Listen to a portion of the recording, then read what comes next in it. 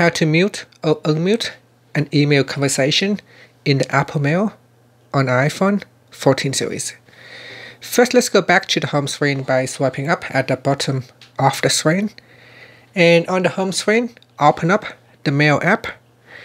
In the Mail app, go back to your inbox. So I'm going to open up my Outlook inbox.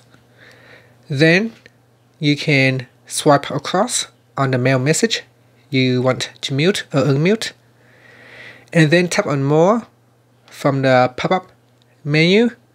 Swipe up to go down and tap on mute. And this will mute that email conversation. If you want to unmute that conversation, you can swipe across and then tap on more. Then we go down and tap on the unmute option.